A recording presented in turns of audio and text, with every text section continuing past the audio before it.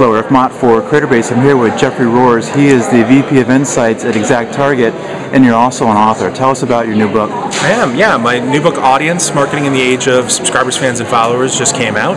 And the whole idea is getting companies thinking about the fact that marketing is building assets, not just incurring costs. So I'm a big believer in content marketing. Content marketing embraces the notion that all companies are now media companies, and that's why you're creating content. You want to draw an audience in. But that audience piece doesn't just happen uh, every time you publish a piece of content. You also need to be having somebody in charge of audience development on a continuous basis. So that's the soapbox I'm standing on. I believe every company, every individual could benefit from thinking about how are they building their audiences in terms of size, engagement, and value for the long haul.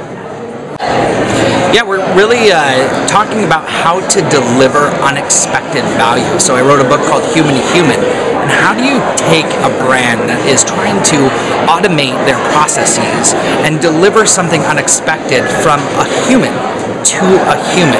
So one of the things that I actually did, I'm sure we've all had jobs in high school and college, and I didn't like any of my jobs until I became a pizza delivery driver for Domino's. It was interesting because it was lo the longest job that I had, and it ended up becoming a favorite because I couldn't make any tips at the beginning. I was trying to figure out how do I how do I make tips? How do I make money do it being a pizza, pizza delivery driver?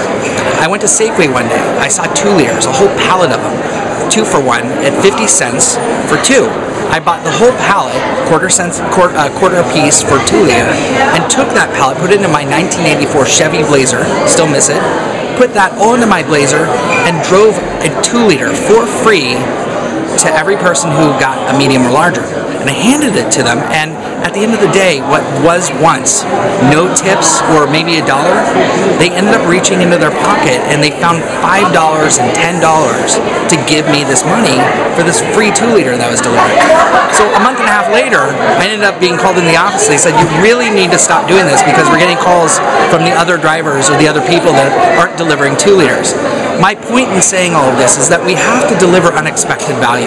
Where they thought they weren't getting a two liter, they were so overjoyed that they actually found the money, they found the, the thank you, the, the, the resilience to be able to give this to me. And I just thought that really applies to what we're going through right now with brands, especially as we're trying to over automate things that really need, need to be driven as humans.